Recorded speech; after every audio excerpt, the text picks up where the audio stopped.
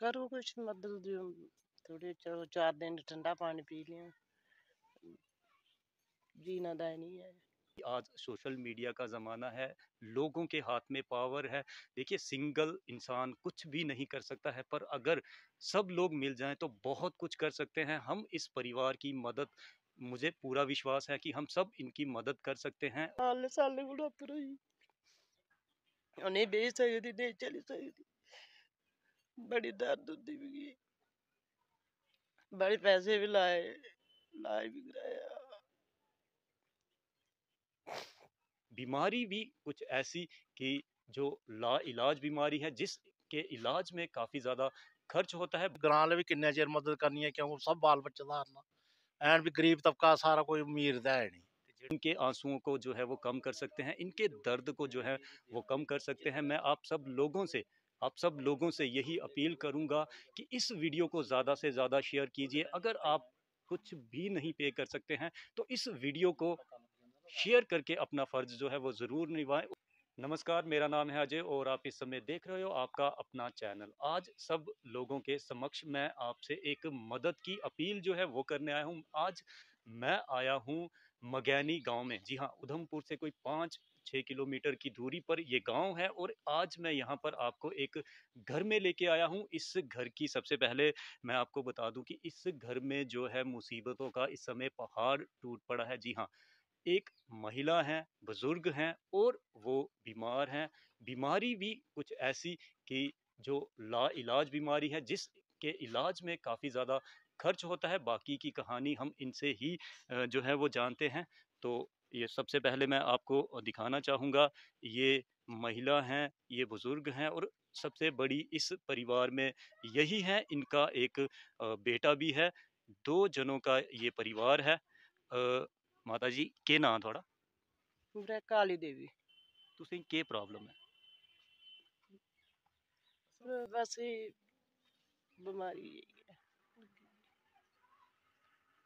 बमारी ऐ कदूं दे तुस बमार चिर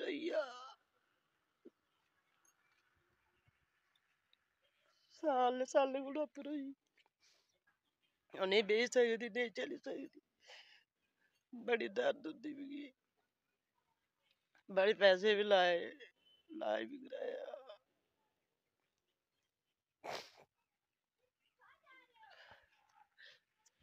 दर्शकों, आप सब लोगों से मैं बस यही कहूँगा कि अगर आप इनके आंसुओं को समझ सको, अगर आप इनके दर्द को समझ सको तो आप इसी से अंदाज़ा जो है वो लगा सकते हो कि ये लोग जो हैं वो कितने दर्द में हैं और आज सब लोगों से, आप सब देखने वालों लोगों से ये मदद की अपील जो है वो कर रहे हैं। हमारे साथ यहाँ पर इस गाँव के जो पंच हैं, वो भी हैं, क्योंकि ये बुज़ुर्ग महिला हैं और दर्द में हैं और ये कुछ भी नहीं बोल पा रही हैं इसी से अंदाज़ा लगा सकते हो कि ये लोग इस समय कितने दर्द में हैं सर थोड़ा के ना है बरसलाल जी ਇਹ ਕੋਕਾ ਗ੍ਰਾਂ ਹੈ ਇਹ ਮਕੈਨੇ ਕਰਾਂ ਹੈ ਤੇ ਇਹ ਜਿਹੜੀ ਅ, ਮਹਿਲਾ ਨੇ ਇਹਨੇ ਕੀ ਪ੍ਰੋਬਲਮ ਹੈ ਤੇ ਕਦੋਂ ਦੀ ਇਹ ਪ੍ਰੋਬਲਮ ਹੈ ਇਹ ਕੋਈ ਕਾਫੀ ਦੇਰ ਹੋਈ ਸਾਲ ਡੇਢ ਸਾਲ ਕੋਲੋਂ ਵੀ ਉੱਪਰ ਹੋਈ ਆ ਪਹਿਲੇ ਦੀ ਨਾਰਮਲ ਸਹੀ ਹੁੰਦੀ ਕਿ ਕੋਈ ਮਤਲਬ ਕਿ ਨਾਰਮਲੀ ਦਵਾਈ ਖਾਂਦੇ ਰਹੇ ਨਾ जिस बेल्लै हस्पताल गी ज़्यादा तकलीफ़ होई तां हास्पिटल गे तां मतलब टैस्ट टुस्ट हो तां उत्थें जेह्ड़े बमारी जेह्ड़ी दूजी दूई बमारी दस्सी उ'नें ने।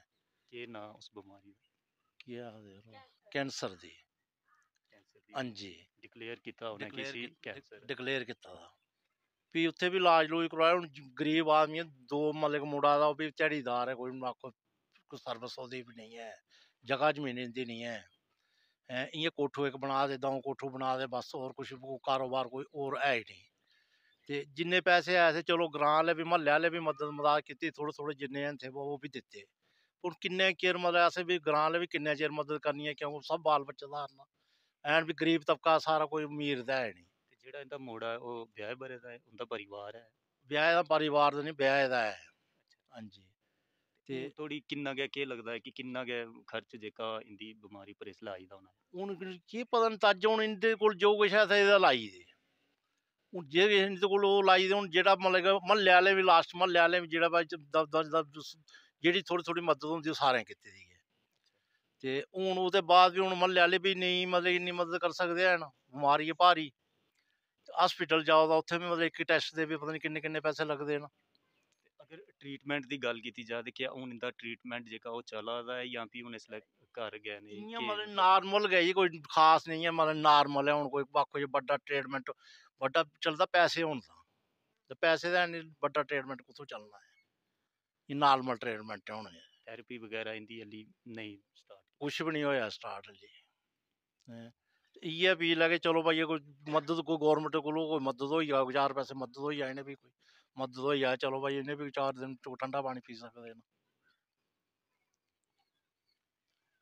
दर्शकों आप सब लोग जो हैं इनकी व्यथा जो है वो सुन रहे हैं और देख रहे हैं कि ये अभी इस समय घर पर हैं और एक हिसाब से देखा जाए तो फ़िलहाल इनका जो ट्रीटमेंट है अभी नहीं के बराबर ही हो रहा है और आज ये मीडिया के समक्ष इसलिए आए हैं ताकि आप सब लोगों लोग जो हैं इनकी मदद जो है वो कर सके और मैं भी अपने चैनल के माध्यम से आप सब लोगों से ये अपील करूँगा कि आप सब लोग भी इंसानियत का फ़र्ज़ जो है वो ज़रूर निभाएँ और इस परिवार की मदद ज़रूर करें क्योंकि देखिए मुसीबत जो है वो किसी पर भी आन पड़ सकती है। आज इस परिवार पर ये मुसीबत आई है।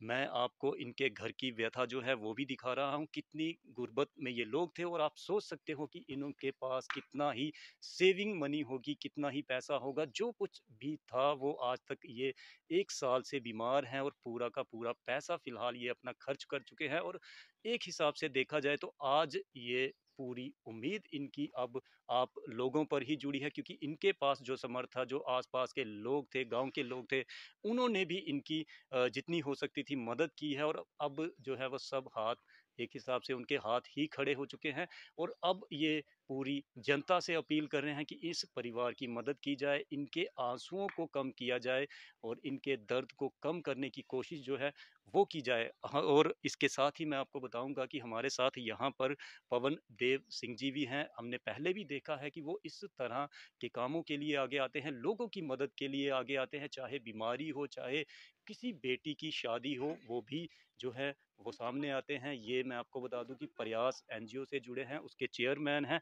तो ये भी इस परिवार, इस घर में जो है, इस समय आए हैं। पवन जी, आप क्या कहना चाहोगे इस मौके पर? पहले तो आप मीडिया बंधुओं को शुक्रिया, क्योंकि इस परिवार से मुझे बड़े दिनों से कॉल आ रही थी, ये लोग पर्सनल मुझसे मिलने भी आए थे। तो मैंने इनसे कहा था कि जैसे मुझे टाइम मिलता है, मैं आ जाऊँगा। मैं आपके चैनल के माध्यम से ज़्यादा कुछ तो नहीं बोलूँगा, मैं आम जनता से यही अपील करना चाहूँगा कि हमारी थोड़ी थोड़ी मदद एक ज़िंदगी बचाने में काफ़ी हद तक कामयाब हो सकती है। तो मेरी आपके चैनल के माध्यम से आम जनता से यही अपील है कि इस परिवार की मदद के लिए आगे आएँ और उनसे जितनी मदद हो सकती है, वो इस परिवार की मदद करें ताकि इनका जो इलाज है, वो संभव हो पाए। तो ये भी आप सब लोगों से यही कह रहे हैं कि इनकी मदद जो है, वो की जाए। मैं फिर से यहाँ पर जो माता जी हैं, बीमार हैं, ये इनको दिखाना चाहूँगा। ये देखिए, ये इनकी हालत है और बेबस हैं इस समय और आप सब लोगों से ये उम्मीद लगा रही हैं कि आप इनकी हेल्प करोगे। इसीलिए ये आज मीडिया के समक्ष यहाँ पर आई हैं। आप इनके आंसुओं से अंदाज़ा लगा सकते हो कि ये कितने दर्द में है। माता जी, आखिर ਵਿੱਚ किश आखना चाहते हो? जेके लोग तुसें दिखगे, किस तरह की मदद करन की है? कि किश कोई सुनेहा तुस देना चाहते हो? करो कुछ मदद दियो थोड़े चलो चार दिन ठंडा पानी पी लिया। जीना दा नहीं है। चलो थोड़ी चिर बची ठीक थोड़ी मदद करके ते हस्पताल भी जाऊँगी इलाज कराऊँगी इयाँ कुन्ने करनी। है नहीं कोई पास पढ़े किश भी मुड़ा बेचारा ध्याड़ियाँ लांदा, उसने रुट्टी पूरी करनी कि इलाज करना ओह् बी बेचारा इयाँ गै। इ'यै मदद करो थोड़ी। जी, दर्शकों, देखो, ये यही कह रहे हैं कि इनकी मदद जो है वो की जाए। मैं यही कहूँगा कि आज सोशल मीडिया का ज़माना है, लोगों के हाथ में पावर है।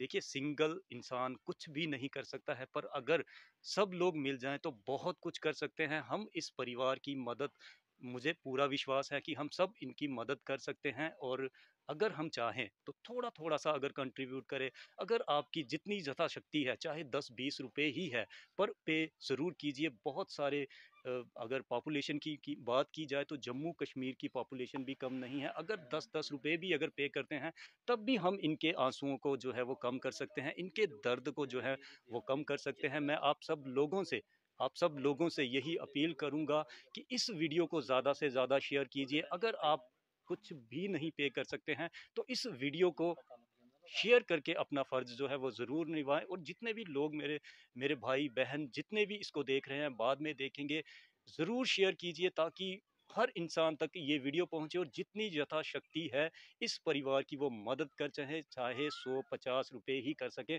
पर मदद इस परिवार की ज़रूर करें। इसके साथ ही अब मुझे दीजिए इजाज़त। जय